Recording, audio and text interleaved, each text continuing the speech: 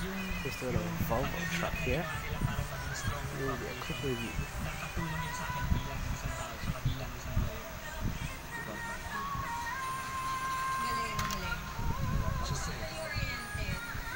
Here's the Volvo FH 2005 and the trailer itself.